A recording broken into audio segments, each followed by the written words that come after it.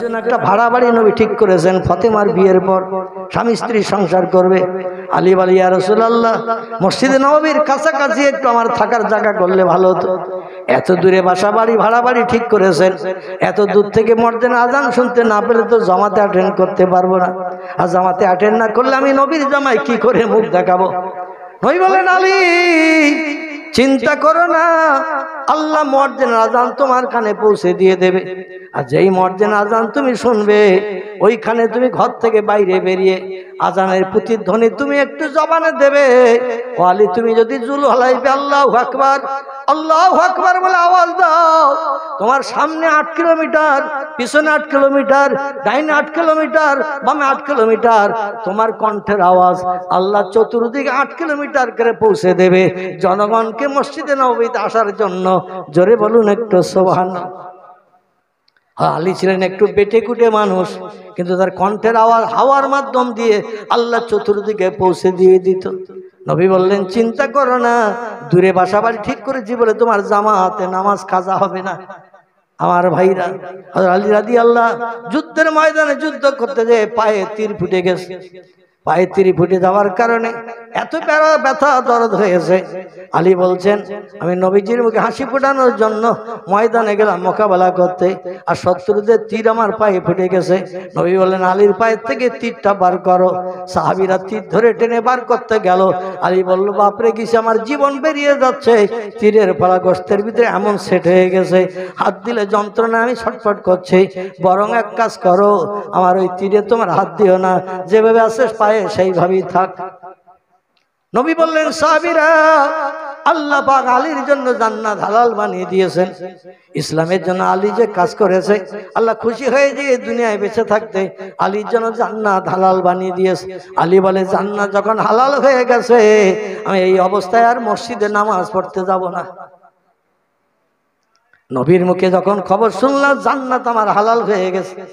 আমার আর কষ্ট করে এই খোড়া পায়ে তীর ফুটানো পায় মসজিদে যাওয়ার কি দরকার?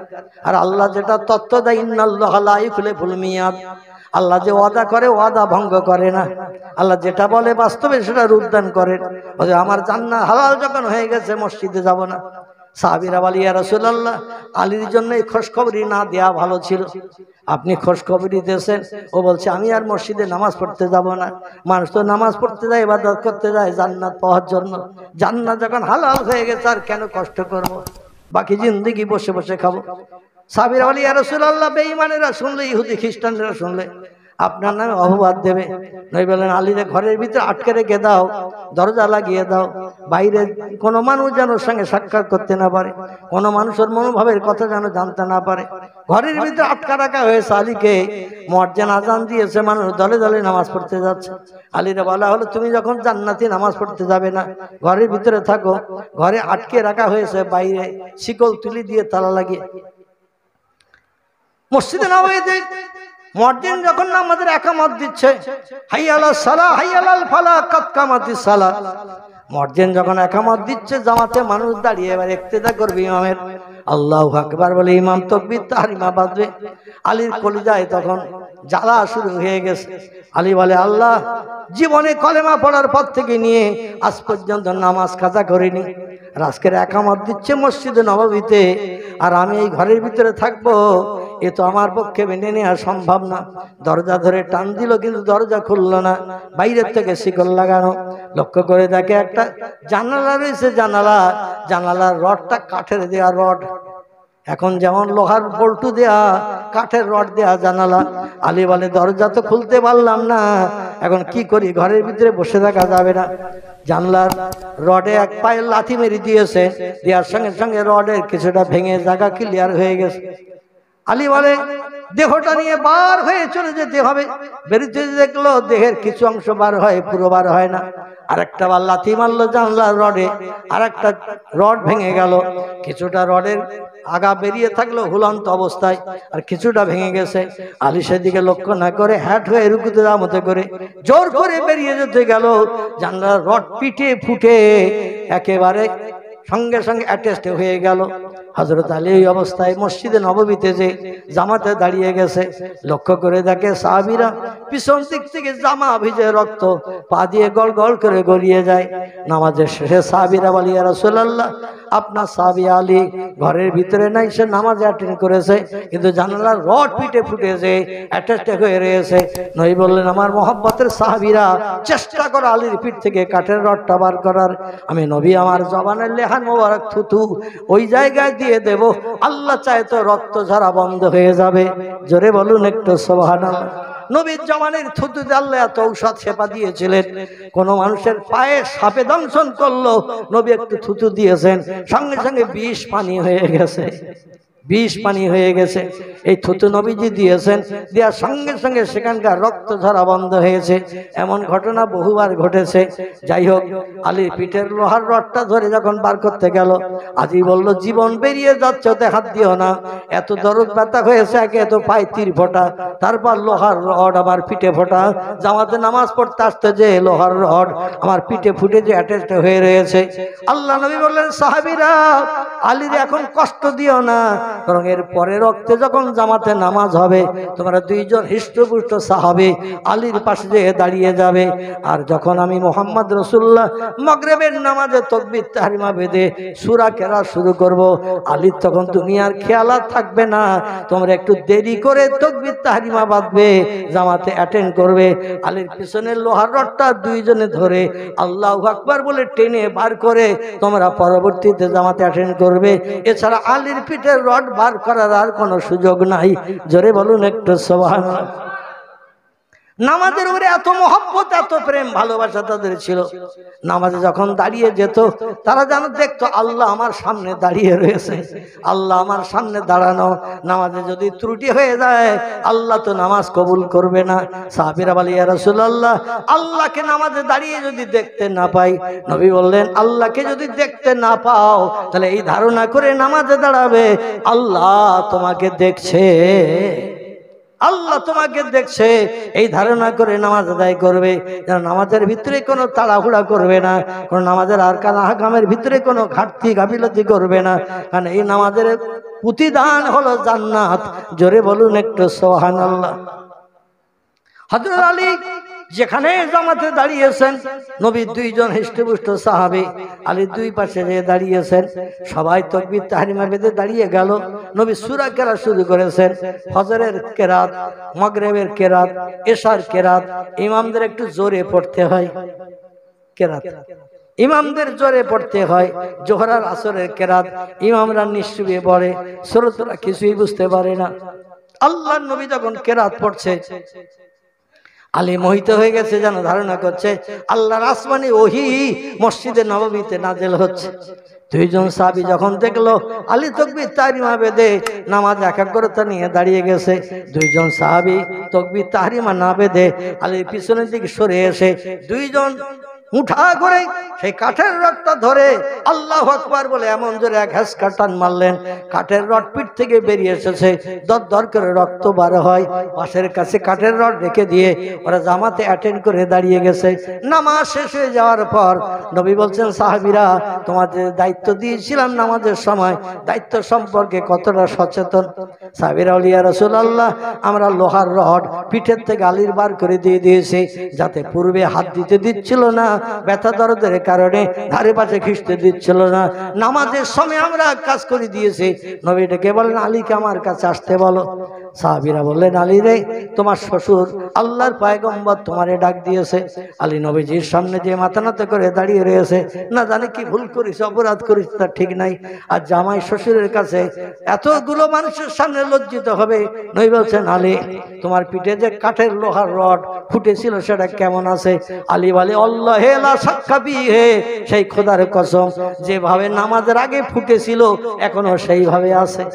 আল্লাহ নবী ডেকে বলে, আমার সাহাবি দয়, তোমার আলীর একটু বলো, কাঠের রডটা কোথায়?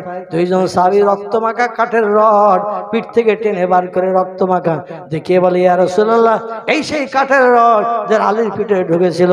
নবী বলে, আলী রে, তোমার পিঠ থেকে কাঠের রড বার করা হয়েছে, তুমি কি কিছু জানো না? আলী বলে, সেই খোদার কসম, কখন আমার পিঠ থেকে কাঠের রড বার করা হয়েছে? আমি কিছুই জানি না। চিল্লাই বলুন একটু সোহান আল্লাহ নয় বললেন আলী আল্লাহ এমনি এমনি তোমার জান্নাতের সার্টিফিকেট দেয়নি। দুনিয়ায় বেঁচে তোমার জান্নাতের সার্টিফিকেট আল্লাহ এমনি এমনি দেয়নি। যতদিন হায়াতে বেঁচে থাকবে, নামাজের মহব্বত, প্রেম, ভালোবাসা, তোমার ভিতরে এমন গাঢ় তর তৈরি হয়ে গেছে। মরণের আগ পর্যন্ত নামাজ ইচ্ছা করেও তুমি কাজা করতে পারবে না। এই জন্য আল্লাহ বেঁচে থাকতে জান্নাতের সার্টিফিকেট দিয়েছে। আচ্ছা আমাদের যদি এইরকম সার্টিফিকেট কোন হুজুর দিয়ে দিত জীবনের মসজিদের দিকে ফিরে তাকাতাম। কি দরকার কষ্ট করে এখন ফজরের জামাতে অ্যাটেন্ড করা? কি দরকার এখন রমজানের রোজা রাখা? কি দরকার মাথায় টুপি দেওয়া? কি দরকার মুখে দাঁড়িয়ে রাখা? আমার তো জান্নাতের সার্টিফিকেট এসে গেছে। যা ইচ্ছা তাই করব।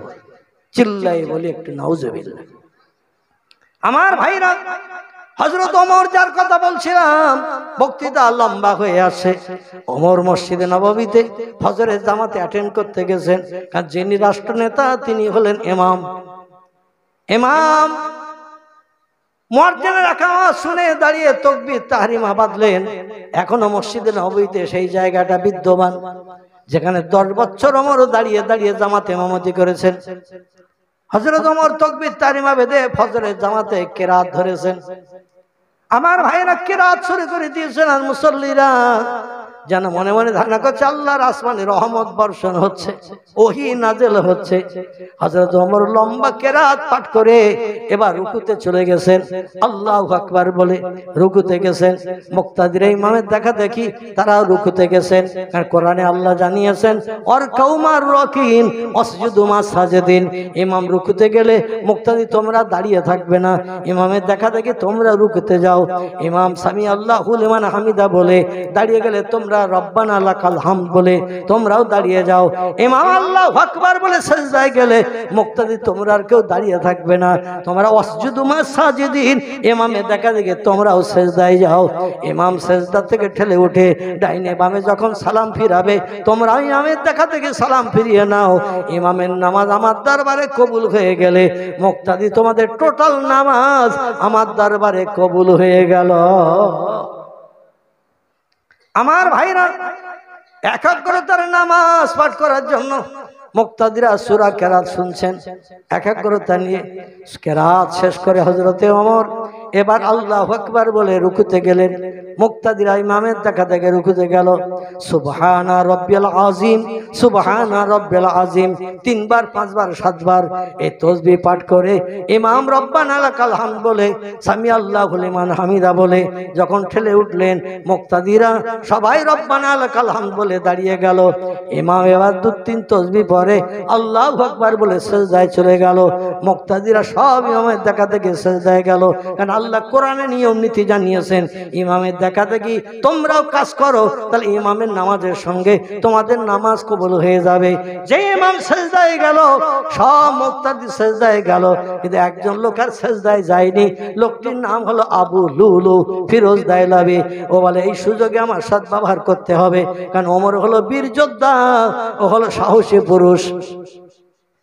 ওমর হলো বীর যোদ্ধা, সাহসী পুরুষ, সামনে সামনে লড়াই করে জয়ী হওয়া যাবে না। প্রসেস অবলম্বন করে অমরের সঙ্গে শত্রুতা করে জীবনের সিদ্ধি, সাধনা, স্বাদ মেটাতে হবে। এই জন্য লোকটা শেষ দায় যায়নি। মুক্তাদি ইমাম সব শেষ দায় গেছে। আর অমরের পিছনের কাতারে মর্জিনের পাশে এই লোকটা দাঁড়িয়েছিল ও আস্তে আস্তে দুপা সামনে গিয়েছে অমরের গর্দানের কাছাকাছি যে একেবারে জোরে জামার ভিতর থেকে তরবারি লুকিয়ে রেখেছিল। তরবারি বার করে ঘাড়ের উপরে কোপ মেরে দিয়েছে।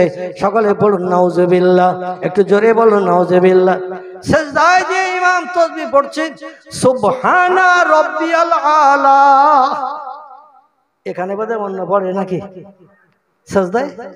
দুনিয়ার সব মসজিদে একই সেজদা, একই তসবি। কোন দেশের তসবি আলাদা নয়। তসবিটি হলো সুবহানা রব্বিয়াল আলা।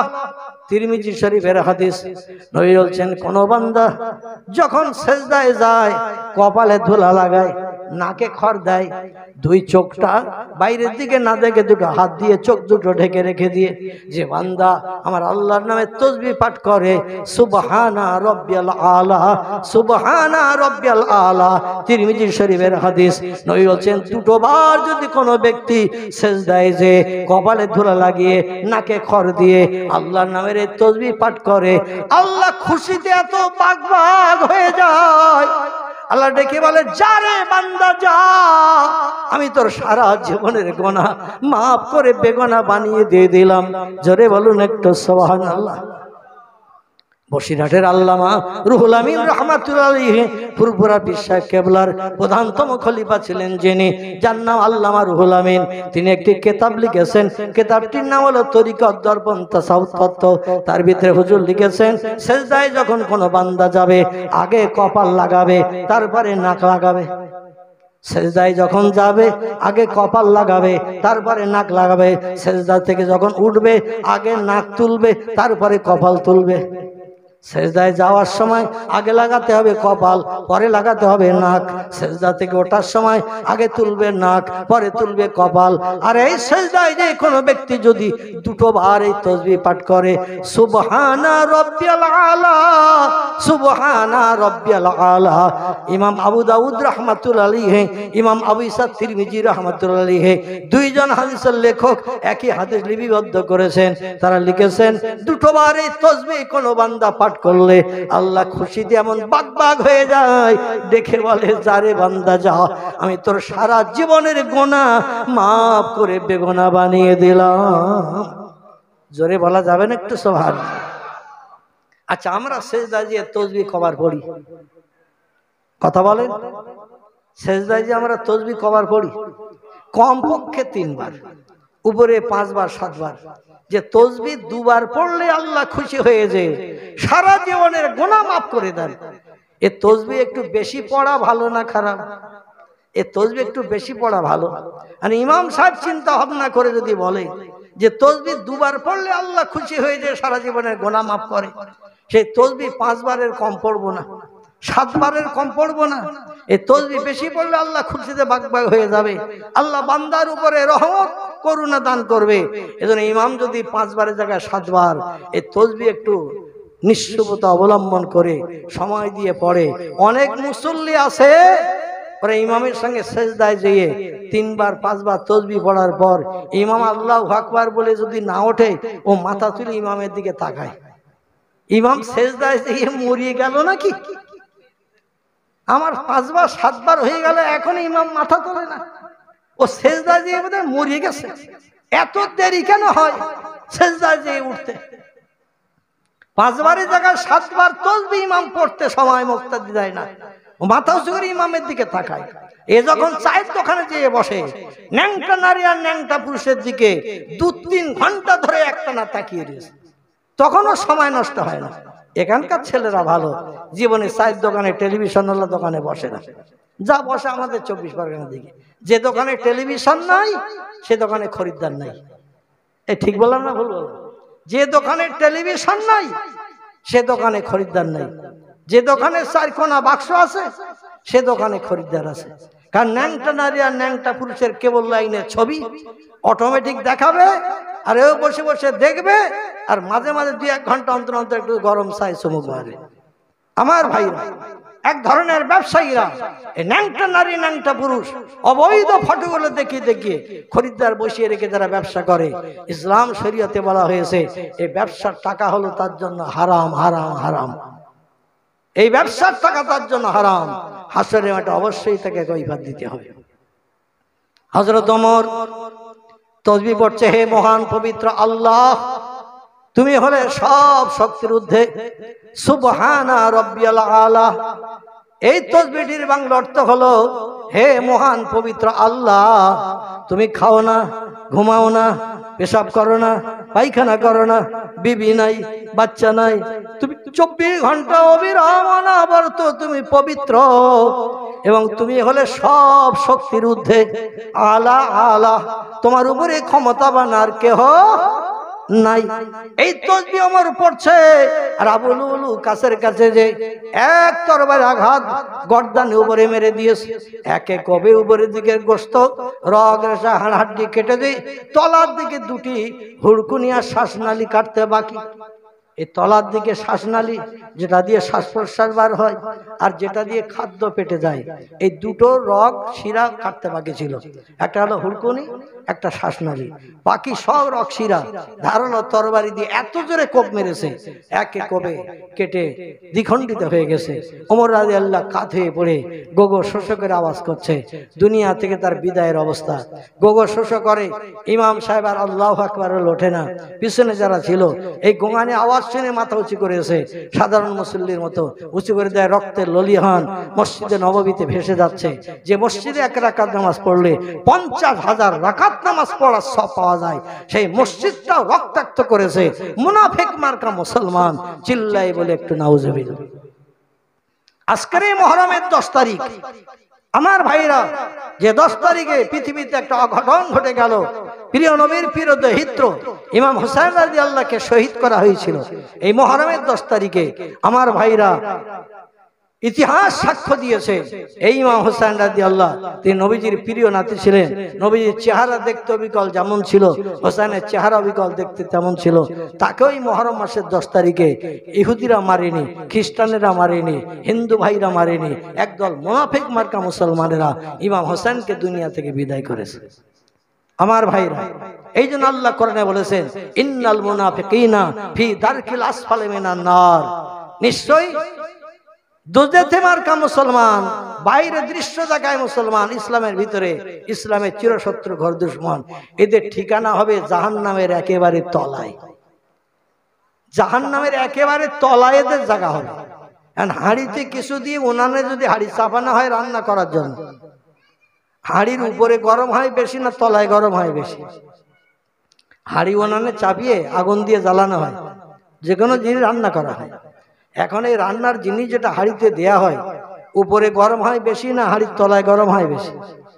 তলায় গরম হয় বেশি। তলায় আগুন লাগে। আল্লাহ বলছেন জাহান নামে তলায় থাকবে তারা, যারা হলো মোনাফেক মার্কা মুসলমান, দোজেতে মুসলমান। এদের কিন্তু জাহান নামে তলায় অ্যাকশন করা হবে। চিল্লাই বলে নাউজবিল্লাহ। আর জাহান নাম এমন একটা জায়গা লাইয়া মুতু অলাই ফেরেস ফিহা। আল্লাহ বলছেন জাহান নাম এমন একটা জায়গা আমি বানিয়েছি, সেখানে কোনোদিন আগুনে পুড়ে মরণ হবে না। কোনো বন্ধু বান্ধব তাকে বাইরে বার করার সুযোগও পাবে না। এক টানা জ্বলতে থাকবে কোটি কোটি বছর ধরে প্রজ্বলিত অগ্নিকুণ্ডে। এর নাম হলো জাহান্নাম। আল্লাহ যেন আমাদের হেফাজত করেন। সকলে বলি আমিন। অমরের এই অবস্থা দেখে সংক্ষেপ কথা। হজরত অমরের অবস্থা দেখে আমার ভাইরা দেখতে দেখতে দু ঘণ্টা হয়ে গেল এগারোটা বেজে গেছে। আমরা দোয়া সরস্থানের দিকে গিয়ে যাব। হজরত অমর রাদি আল্লাহর এই অবস্থা দেখে মানুষেরা বলো কেই সর্বনাশ করেছে নামাজ হালাতে? পিছনের দিকে তাকিয়ে দেখে একজন লোক রক্তমাখা তরবারি হাতে নিয়ে এক একটা কাতা লাভ মেরে মেরে পিছন দিক থেকে পালিয়ে যাচ্ছে। মানুষ তো সব শেষ দাঁড়িয়ে আছে সামনে দিকে কি অঘটন ঘটেছে, পিছনের লোক তো বুঝতে পারছে না। ও এক একটা কাতার লাফিয়ে লাফিয়ে পেরিয়ে যাচ্ছে।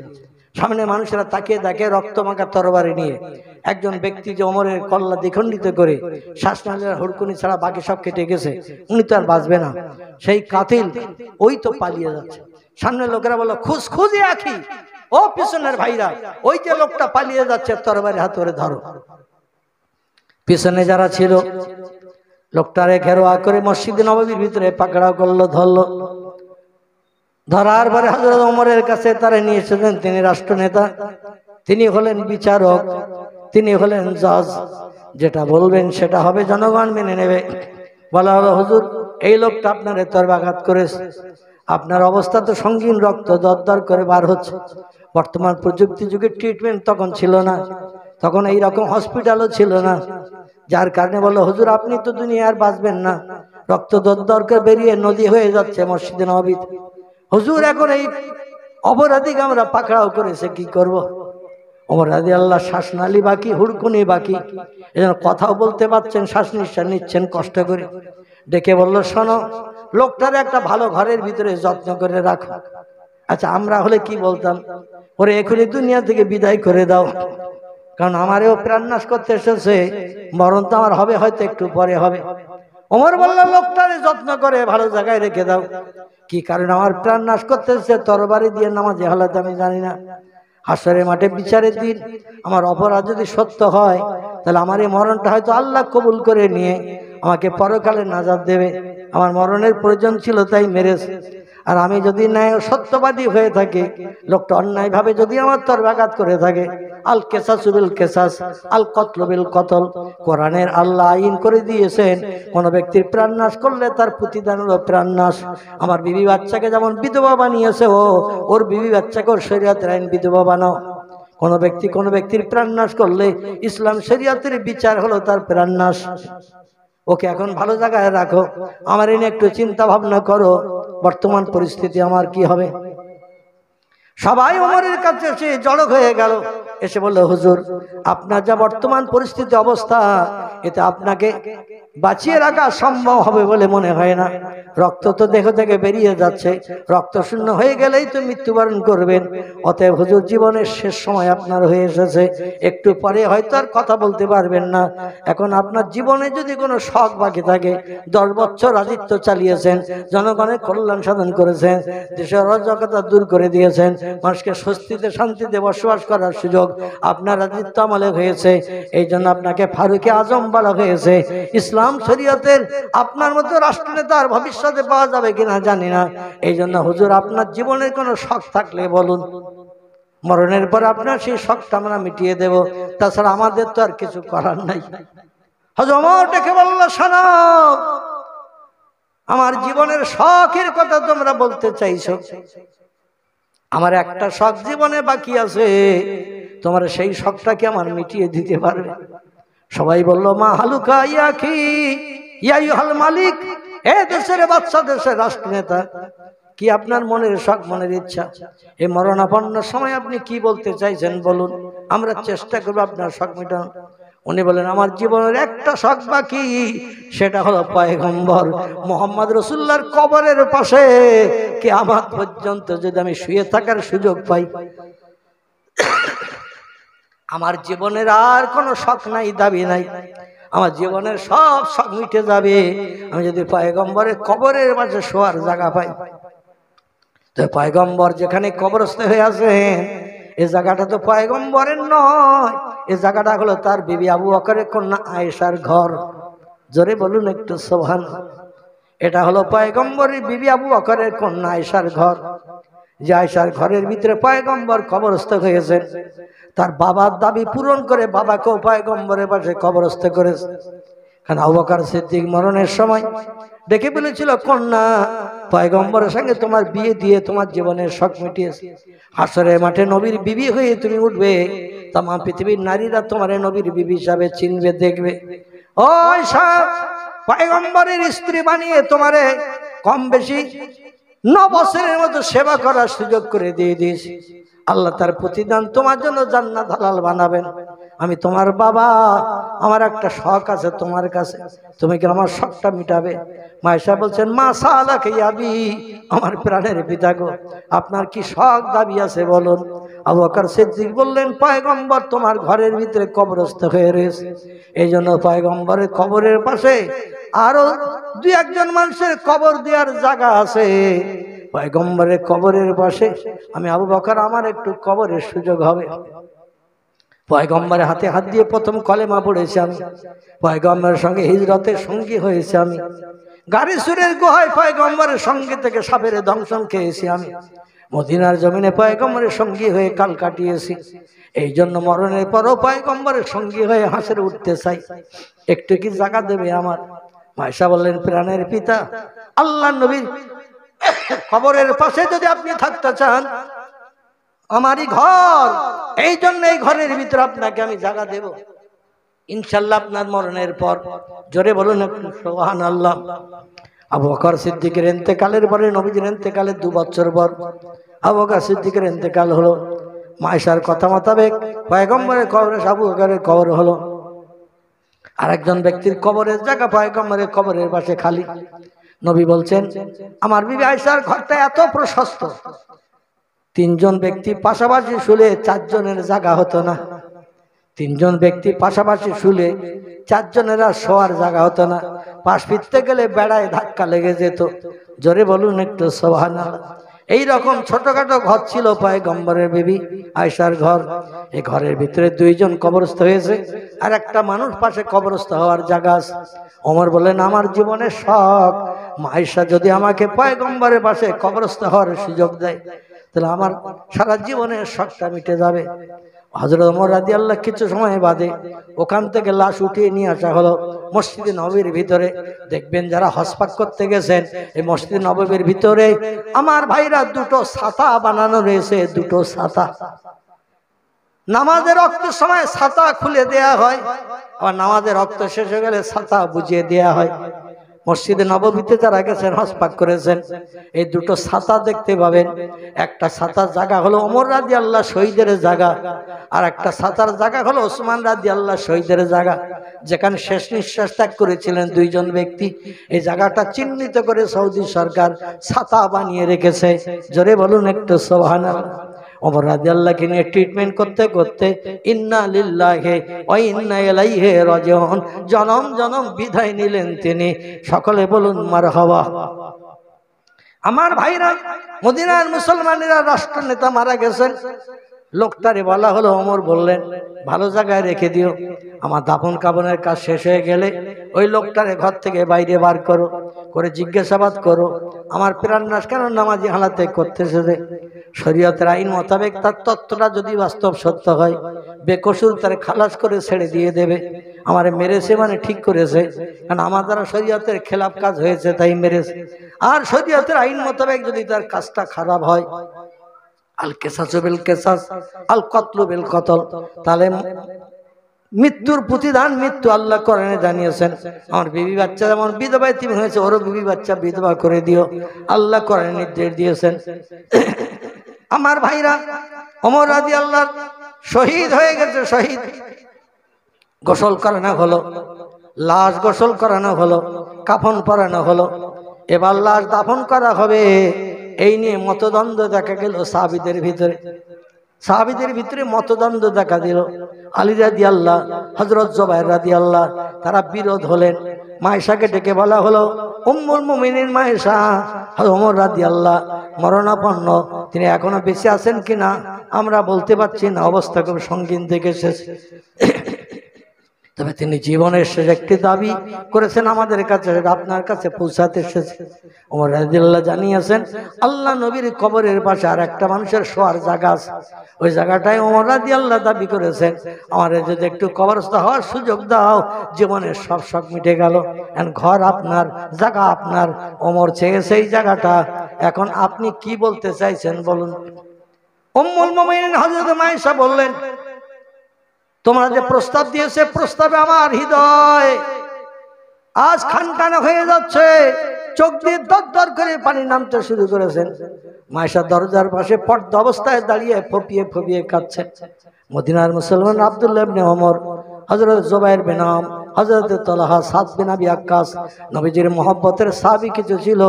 আবদুল্লাহ ইবনে আমার ভাইরা জায়েদ এরা সব ডেকে বলছেন, ও মা জননী আয়সা আপনার ঘর আপনি জায়গা দিলেও দিতে পারেন, না দিলেও দিতে পারেন। কিন্তু অমরের প্রস্তাবটা কেবল আপনার কাছে জানাতে এসেছে, জীবনের শেষ প্রস্তাব। এতে আপনি কাঁদছেন কেন? মাইসা বলছেন, আমার জীবনের বড় শখ ছিল ন বছর কাল পয়গম্বরকে সেবা যত্ন করেছে এই ঘরের ভিতরে। পয়গম্বর কোন জায়গায় কবরস্থ নয়, আমার ঘরের ভিতরে কি আমার পর্যন্ত। কবরস্থ হয়ে থাকবেন বলে তিনি চিন্তা ভাবনা নিয়ে আমার কাছে প্রস্তাব দিয়েছেন। সেই প্রস্তাব মোতাবেক পয়গম্বরকে আমার ঘরের ভিতরে কবর দিয়েছে আমার বাবার দাবি পূরণ করতে যে আমার বাবাকেও পয়গম্বরের পাশে কবর দিয়েছে। আমার বাবা পয়গম্বরের পাশে থাকতে চায় কি আমার আর একটা মানুষের কবরের জায়গা আমার ঘরের ভিতরে খালি। এই জায়গাটায় আমি আইসা কবরস্থ হব। স্বামীর পাশে কে আমার পর্যন্ত থাকব। এটা ছিল আমার জীবনের বড় শখ। কিন্তু আজ এমন একটা প্রস্তাব তোমরা আমার কাছে এনে দিয়েছ। আমি প্রস্তাব প্রত্যাখ্যান করতে পারছি না, আবার মেনে নিতেও পারছি না। আমার হৃদয়ে তুষের আগুন জেরে উঠেছে, তাই ফুপিয়ে ফুপিয়ে কাঁদছি। মদিনার মুসলমানেরা বলে, মা জননী, আপনার ঘর, আপনার জায়গা। স্বামীর পাশে কে না কবরস্থ হয়ে থাকতে চায় নারীরা? ওদের আপনি আপনার ঘরের ভিতরে স্বামীর পাশে কবরস্থ হয়ে থাকবেন। এতে কেউ বাদ সারতে পারবে না, কেউ এতে কোনো মন্তব্য করার সুযোগ পাবে না। অতএব আপনি কাঁদছেন কেন? আপনি তো বলে দিতে পারতেন। আমার ঘরের ভিতরে আমি থাকব, আমার স্বামীর পাশে। এখানে আর কারও জায়গা হবে না। কিন্তু আপনি কাঁদছেন কেন? মাসা বলছে, আমি পরকালের চিন্তা ভাবনা করে কাঁদছি। আমি পরকালের চিন্তা ভাবনা করে কাঁদছি। হাসরে মাঠে পয়গম্বর আমারে যদি ডেকে বলে আয়সা আমার মহব্বতের সাহাবি অমর আমার কবরের পাশে কে আমার থাকার প্রস্তাব দিয়েছিল। তুমি প্রস্তাব প্রত্যাখ্যান করে কেন তুমি কবরস্থ হয়েছে? তোমার থেকে অমর আমার বেশি মহব্বতের মানুষ, বেশি প্রিয় মানুষ, বেশি আপনজন। অমর কলেমা না পড়লে আমার পক্ষে কলেমার দাওয়াত দেওয়া সম্ভব হতো না। অমর কলেমা পড়ার কারণে আমি মোহাম্মদ একটু স্বস্তি পেয়েছিলাম। আমি চিন্তামুক্ত হয়েছিলাম। আর অমর কলেমা পড়ার কারণে আমাকে সঙ্গে করে নিয়ে প্রকাশ্য কাবা ঘর সামনে রেখে নামাজ পড়ার সুযোগ করে দিয়েছিল। যতদিন অমর কলেমা না পড়েছে, প্রকাশ্য নামাজ পড়ার সুযোগ পাই নাই। জোরে বলুন একটু সোহান এ মদিনার মুসলমানেরা, আমি এই জন্য কাচ্ছি আমার স্বামীর মুখে আমি শুনেছি। আমার স্বামী মোহাম্মদ রসুল্লাহ বলেছে তাম পৃথিবীর আকাশে রাতের বেলা যত তারকার উদয় হয়, ওই তারকার সংখ্যা যত, আমার মোহাম্মতের সাবি ওমরের সোয়াবের সংখ্যা তত। ওমরের মর্যাদা আমার থেকে কত গুণ বেশি, সেটা আল্লাহ বেশি জানেন, মর্যাদায় বেশি, সম্মানে বেশি। আর সেই ব্যক্তি কবরস্থ হতে চেয়েছে আমি যদি অনুমতি না দিই, তাহলে পরকালে নবীর কাছে আমি লাভ জব হয়ে যাব। এই জন্য আমার ইচ্ছা নাই, তবু উপায় নাই। অমরের সম্মানের দিকে লক্ষ্য করে আমি হজরত আয়সা অমরকে আমার ঘরের ভিতরে শোয়ার জায়গা দিয়ে দিলাম। জোরে বলুন একটু সবাহান আল্লাহ সংক্ষেপ কথা, ওমরের জন্য জায়গা দেয়া হয়েছে। মায়েশার ঘরের ভিতরে কবর খনন করা হচ্ছে। গোসল করিয়ে কাফন পরিয়ে, গোসল করিয়ে কাফন পরিয়ে লাশ দাফন করা হবে। নবীর মোহব্বতের সাহাবি আলী রাদি আল্লাহ ওসমান রাদি আল্লাহ বিখ্যাত বিখ্যাত সাহাবিরা বাদ সাধলেন। অমর দাবি করেছে বলে অমরকে নবীর কবরের পাশে কবর দেওয়ার জায়গা দিতে হবে। আমাদের কি শখ নাই? আমরাও নবীর পাশে শুতে চাই। নবীর মোহব্বতের সাহাবিরা, আলীর মতো মানুষ আবদুল্লাবিন জবাইয়ের মতো মানুষ। আমার ভাইরা তারা বলল, আল্লাহ নবীর কবরের বাসে কার না শোয়ার ইচ্ছা হয়? অমর দাবি করেছে অমরের দাবি পূর্ণ করা হবে। আমরা ওটা মেনে নেব না। অমরকে জান্নাতুল বাকিতে দাপন করো। জান্নাতুল বাকিতে যেখানে নবীর সাহাবিদের কবর আছে, ওইখানে অমরকে দাপন করো। আমাদেরও শখ আছে নবীর কবরের পাশে কবরস্থ হওয়ার। দুটো দল তৈরি হয়ে গেল মদিনার মুসলমানদের ভিতরে। একদল আলী রাদি আল্লাহর দলে আর এক দল হজরত ওমর রাদি আল্লাহর ছেলে আবদুল্লাহ ওমরের দলে। আমার ভাইরা দুই দল দুই দিকে চলে গেল। লাশ ডেঙায় কাফন পরানো, দাফন করা হচ্ছে না। নবীজির কবর পাশে দাফন করতে যে একদল বাধা দিচ্ছে। তারা বলছে, জান্নাতুল বাকিতে দাপন করো। আরেক দল বলছে, যার ঘর সে তো অনুমতি দিয়েছে মাইশা অত অমরকে মাইশার ঘরে দাফন করো। নবজির পাশে খবর দাও। এই নিয়ে মতদ্বন্দ্ব শুরু হয়ে গেল। আমার ভাইরা দাফন হয় না, লা দাফন করতে দেওয়া হয় না নবীজির কবরের পাশে। চতুর্দিকে বিশৃঙ্খলা সৃষ্টি হয়ে গেছে। কি করা যাবে? আমার ভাইরা মত অবস্থায় নবীর মোহাম্মতের সাবি হজরতে ওসমান গঞ্জিরাদিলানহ ডেকে বললেন, আলী, আল্লাহ নবীর মুখে শুনেছি। নবী জানিয়ে দিয়েছেন, আনা মদিনাতুল আলমে ও আলিউন বাবুহা। আমি হলাম জ্ঞানের শহর, জ্ঞানের ঘর। আর এই ঘরের দরজা হলো হজরতে আলী। জোরে বলুন একটু সোবহানা নবী বলছেন, আমি হলাম জ্ঞানের ঘর। আর এই ঘরের দরজা হলো হজরতে আলী। সমস্যা যখন দেখা দিয়েছে, সমস্যার সমাধান করতে হবে। আমাদের মরা লাশ ডেঙায় রেখে এই মতদ্বন্দ্ব করে সময় অতিবাহিত করা যাবে না। এ সমস্যার সমাধান তোমাকেই করতে হবে। কারণ নবী বলেছেন, আমি জ্ঞানের ঘর। আর এই ঘরের দরজা হলো হজরতে আলী। তোমার মর্যাদা এমন বেশি, কোন ব্যক্তি নবীর সঙ্গে দেখা করতে আসলে তোমার সঙ্গে তার দেখা করতে হয় দুবার। ও আলী তোমার মর্যাদা এখানে এমন বেশি। নবীর সঙ্গে কেউ সাক্ষাৎ করতে আসলে তোমার সঙ্গে সাক্ষাৎ করতে হয় দুবার। আর তুমি হলে ঘরের দরজা। একবার দেখা করতে আসলে তোমার দিয়ে ঢুকতে হয়। আবার দেখা করে বেরিয়ে যেতে গেলে তোমার দরজা দিয়ে বেরিয়ে যেতে হয়। নবীর সঙ্গে দেখা হয় একবার, তোমার সঙ্গে দেখা করতে হয় দুবার। তোমার মর্যাদা আল্লাহ বেশি করে দিয়েছে। এই জন্য সমস্যার সমাধান তোমারে করতে হবে। আলী রাজি আল্লাহ বললেন, শোনো, সমস্যার সমাধান যদি আমার করতে হয়, তাহলে আমি একটা প্রস্তাব দেবো মদিনার মুসলমানেরা। আমার প্রস্তাবটা তোমরা কি শুনবে। সবাই বলল, না, আমি আঁকে আলিয়ার নাবি তলিব ও মক্কার দিয়ে আবু তলেবের বাটা আলী। বলো কি প্রস্তাব তুমি দিতে চাইছ? আলী বললেন হজরত ওমরের এখন বর্তমান অবস্থা। বলে তিনি ইন্তেকাল করেছেন, মারা গেছেন, গোসল করানো হয়েছে কাপন পরানো হয়েছে। একদল বলছে, নবীর কবরের পাশে কবর হোক, আর একদল বলছে, জান্নাতুল বাকিতে খবর দেয়া হোক। এই নিয়ে সাহাবিদের ভিতরে মতদ্বন্দ্ব। এখন এই মতদ্বন্দ্বের রিভিশনের জন্য আমি একটা প্রস্তাব দিচ্ছি। তোমাদের কাছে কেমন লাগে একটু বলো। সবাই বলল, প্রস্তাব কি? আলী বললেন, যারা বলছেন নবীজির কবরের পাশে হজরত হজরত ওমরকে দাফন করতে হবে, আল্লাহ নবীর কবরের পাশে হজরত ওমরকে দাফনের সুযোগ দিতে হবে। আমি তাদের কাছে বলছি, আল্লাহর পয়গম্বর হায়াতুল নবী, জেন্দা নবী না মরা নবী? আলী বলছেন, তোমরা সকলে বলো, নবী হায়াতুল নবী, জেন্দা নবী না মরা নবী? সকলে এক বাক্যে বললেন অল্লাহ হে আল্লাহর পয়গম্বর কবরে জেন্দা অবস্থায় আছে।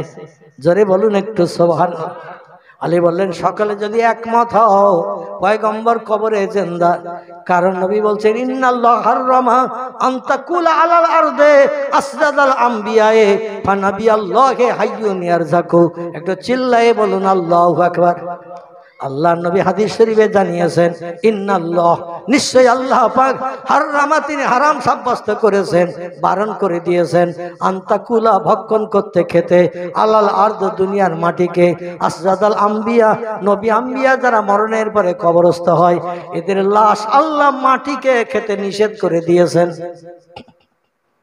নবী আরও বললেন নবী আল্লাহ হাইজুনিয়ার জাকু আল্লাহ নবীরা কবরে হাইয়ুন, তারা জেন্দাবস্থায় থাকে। ওয়ার জাকু এবং খোদা প্রদত্ত জান্নাতি রুজি নবীদের জন্য ফেরেস্তা কর্তৃক পরিবেশন হয়ে থাকে। জোরে বলুন একটু সবাহান আল্লাহ না রায় থাকবি তাহলে আমাদের পয়গম্বর কবরে মরা না জেন্দা? কবরে পয়গম্বর জিন্দা আমাদের মজাবের বিষয় আমাদের সেলসেলার প্রতিষ্ঠাতা যিনি আবু অকর সিদ্দিকল করাইছে আমার ভাইরাই এই হাওড়া জেলার পাশে হুগলি জেলার, ফুরফুরা শরীফে যিনি কবরস্থ হয়ে আছেন, ইনি দুইজন সন্তানকে সাথে করে নিয়ে একজন হলেন তার বড় সাহেব জাদা নাম হলো তার আব্দুল হাই সিদ্দিকি। আরেকজন ছিলেন আমাদের চব্বিশ পরগানার বসিরহাটের জমিনের অধিবাসী, নাম ছিল তার আল্লামা রুহুল আমিন রহমাতুল্লাহ এই দুইজনকে সাথে করে নিয়ে দাদা হুজুর মক্কা শরীফ, মদিনা শরীফ হসপাক করতে গিয়েছিলেন। হজের কাজ শেষ করে মদিনা শরীফে যাওয়ার পরে নবীজির কবর জিয়ারাতের জন্য, নবীজির সঙ্গে সাক্ষাতের জন্য বাদশাহ সৌদের কাছে প্রস্তাব দিয়েছিল। বাদশাহ ইবনে সৌদ বলল বাদশাহ নুরুদ্দিনের আমল থেকে রাত নটার পরে মসজিদে নগরের ভিতরে কাউকে থাকতে দেয়া হয় না। এশার নামাজের আধা ঘণ্টা, পঁয়তাল্লিশ মিনিট পরে কোনো ব্যক্তিকে মসজিদে নবীর ভিতরে থাকতে দেয়া হয় না। আবার রাত্র দ্বীপ্রহরের পরে রাত তিনটার দিকে তাহাজ্যদের আজান হলে আবার মসজিদে নবীর গেট খুলে দেয়া হয়। মানুষকে তাহাজ্যদের নামাজ পড়ার জন্য রজা ধারে বাসে কাউকে থাকতে দেয়া হয় না। এজন্য আপনি কি বলতে চাইছেন? বাংলার পীর আবু বকর সিদ্দিকল করাইশি বলল, এসেছি মদিনা শরীফে নবীজির সঙ্গে সাক্ষাৎ করতে। নবীজির সঙ্গে দেখা করব না না দেখা করে চলে যাব, ওটা পছন্দ করি না। এই জন্য একটু কবরে ঢোকার অনুমতি দেওয়া হোক। বাদশাহ ইবনে সৌদ বলল, আমাদেরও পারমিশন নাই, আপনারও পারমিশন নাই। বাংলার পীর আবু বকর সিদ্দিকি বললেন, তাহলে আপনার বাড়ির নাস্তা পানি করব না, যদি নবী রওজায় ঢোকার পারমিশন না হয়। বাংলার পীরের এই প্রস্তাব শুনে বাদশাহ ইবনে সৌদ বলল, আল্লাহ নবীর রওজা মোবারকে রাতের বেলা ঢুকবে, এই পারমিশন চাইছো? কত বড় বুকের পাঠা পয়গম্বর মোহাম্মদ রসুল্লাহ হায়াতুল নবী, জেন্দা নবী না মরা নবী। বাংলার পীর আবু আকাশ সিদ্দিকেও বলেছিলেন, বাংলার পীর জিন্দা। জোরে বলুন একটু সোহান আল্লাহ বা সেবনে সৌদ বলল, বাংলার পীর জেন্দা যদি বিশ্বাস করেন, তাহলে রওজার গেটের মুখে আপনাকে দাঁড় করিয়ে দেব। নবী যদি অনুমতি দিয়ে দরজা খুলে দেয়, আপনি ভিতরে ঢুকতে পারবেন। নবী যদি অনুমতি না দেয়, আপনি কি জোর করে ঢুকবেন? বাংলার পীর বলল লাইয়াখি লাইয়াই হল মালিক, না না না, বাংলার পীর অনুমতি দেবে না। আমি জোর করে রওজায় ঢুকবো, ওটা পছন্দ করি না। বাংলার পীর অনুমতি দিলে ঢুকবো। বাদশাহ সৌদ বলল, এ মসজিদ নবীর খাদিম এই বাংলার পীরকে এশার নামাজ হয়ে গেলে রাত্রদীপ প্রহর হয়ে গেলে, লোকজন বাইরে চলে গেলে, রওজার গেটের মুখে দাঁড় করিয়ে দিয়ে একবার আল্লাহ নবীকে ডেকে বলবে, আমরাও বিশ্বাস করি নবী জেন্দা জেন্দা নবী অনুমতি দিলে ঢুকবে, না দিলে তাকে ঢুকতে দেয়া হবে না। দরজার পাশে দাঁড় করিয়ে আল্লাহ নবীকে মসজিদ নবীর খাদেম ডাক দিল। সঙ্গে সঙ্গে আল্লাহর হুকুমে দরজা খুলে গেল। জোরে বলুন একটু সবাহান আল্লাহ না রায় তাকবীর। দরজা খুলে গেল। বাদশাহ সৌদের কথা মোতাবেক বাংলার পীরকে ডেকে বলা হলো, আপনার জন্য পারমিশন হয়েছে। যে কদিন মদিনায় থাকবেন, রাতের বেলা আপনি এসে নবীজির সঙ্গে সাক্ষাতের সুযোগ পাবেন। রওজার ভিতরে ঢোকার পারমিশন হলো। বাংলার পীর বলল, আমি একা ঢুকবো, আমার দুই ছেলে বাইরে দাঁড়িয়ে থাকবে। একজন আব্দুল হাই, একজন আল্লামা রুহুল আমিন। আমি ওটা পছন্দ করি না। ওই দুইজনকেও পারমিশন দিতে হবে। বাদশাহ সৌদ বলল পারমিশন হয়েছে একজনের। আপনাদের তিনজনে ঢুকতে দেওয়া যাবে না। উনি বললেন, কিসে ঢুকতে দেবে? বলে, ওই দুইজনের জন্য পারমিশন লাগবে। বাংলার পীর বলল, তাহলে আমি সাইড হয়ে যাচ্ছি। আমার দুই বেটাকে দাঁড় করিয়ে পারমিশন দাও। ফুরফুরার পীর আবু আকার সিদ্দিকির বড় সাহেব দাদা আব্দুল হাই সিদ্দিকি বসিরাটে আল্লামা রুহুল দাঁড় করিয়ে দিয়ে আবার পারমিশন চাওয়া হলো। নবীর তরফ থেকে দরজা গুড়ুম করে সাইড হয়ে লেগেছে। দরজা খুলে গেল। জোরে বলুন একটু সবাহান আল্লাহ এখানে আমরা বিশ্বাস করি, নবী জেন্দানা মরা। আলী বললেন শোনগো আল্লাহ নবী যদি অনুমতি দেয়, ওমরকে নবীর পাশে কবর দাও। আর নবী যদি অনুমতি না দেয় কি আমার ওমরকে নবীর কবরের পাশে রাখা যাবে না। ওই জান্নাতুল বাকিতে কবর দিতে হবে। এটা আমার মত। তোমাদের মতামত বলো। সবাই বলল, লাব্বাইকা সাদাইকা ইয়া কি আলী ইবনে আবি তালেব। আপনি যে প্রস্তাব দিয়েছেন, এতে আর কোনো কথা হয় না। আপনার প্রস্তাবটাই যথাযোগ্য। হজরত ওমরের লাশটা নবীর মাথার পাশে সামনে দাঁড় করিয়ে রেখে এই প্রস্তাব কে দেবে বলুন? আলী বললেন, প্রস্তাব যখন আমি দিয়েছি, আমি নবীজিকে জিজ্ঞাসাবাদ করব। তোমার মাথার পাশে দাঁড়িয়ে থাকো। নবীর কবর থেকে যদি অনুমতি আসে, অমরকে নবীর কবরের পাশে দাফন করা হবে। আর নবী যদি অনুমতি না দেয়, জান্নাতুল বাকিতে ফাঁকা জায়গায় অমরকে দাফন করা হবে। সমস্ত মুসলমানেরা নবীর মোহব্বতের সাহাবিরা রওজার পাশে জমায়েত হয়ে দাঁড়িয়ে গেল। আমার ভাইরা হজরতে আলী ইস্তেখারা করে দুনিয়ার চিন্তা ভাবনা দূর করে, বাহ্যিক চোখ বন্ধ করে, মাথা নিচে করে আল্লাহর পয়গম্বরকে ডাক দিলেন, ইয়া রসুল আল্লাহ ইয়া হাবিব আল্লাহ আপনার মোহব্বতের সাহাবি ওমর প্রস্তাব দিয়েছে, আপনার কবরের পাশে কেমন পর্যন্ত আপনার বিবি আয়সার ঘরের ভিতরে দাপন হয়ে থাকবে। ইয়া রসুল আল্লাহ আপনার তরফ থেকে অনুমতি হলে পারমিশন দিয়ে দিন সকস্ত মদিনার মানুষ শুনে নিক, আপনার কবরে পাশে ওমরকে দাপন করব। আর আপনার পারমিশন যদি না হয়, তাহলে আমরা জান্নাতুল বাকিতে দাপন করব। মদিনার কবর থেকে রেডিওর স্পিকারের মতো আওয়াজ বেরিয়ে আসলো। ও মদিনার মুসলমানেরা, আমার মোহাব্বতের সাথী, অমর আমার জীবন সঙ্গী হয়ে, যতদিন আমি মোহাম্মদ বেঁচেছিলাম আমার জীবন সঙ্গী হয়ে থেকেছে। হাসের মাঠে অমরকে নিয়ে আমার উন্নতি উপকারের দায়িত্ব পালন করব। এই জন্য অমরকে আমার কবরের পাশে দাফন করে দাও। জোরে বলুন একটু সবাহান আল্লাহ না রায় থাকবে নবীজি কবরের ভিতর থেকে এই অনুমতি দিলেন। হাজার হাজার মুসলমানেরা কবরের ভিতর থেকে আওয়াজের প্রত্যুত্তর শুনে ওমরকে নবীজির কবরের পাশে দাফন করা হলো। সেই নবী আমাদের নবী, সেই নবী আমাদের নবী। এই নবী কবরের ভিতরে এখনও জিন্দাবস্থায় আছেন এবং তিনি খেতে খেতে আল্লাহর কাছে দোয়া করছেন, ইয়া রব্বে হাবলি উম্মতি, ইয়া রব্বে হাবলি উম্মতি। নবীর ভাষা হলো, কবরের ভিতরে কাঁদিয়ার বলে আল্লাহ, আমার গণাগার উম্মতি উম্মতের উপায় কি হবে? আমার গণাগার উম্মতের উপায় কি হবে?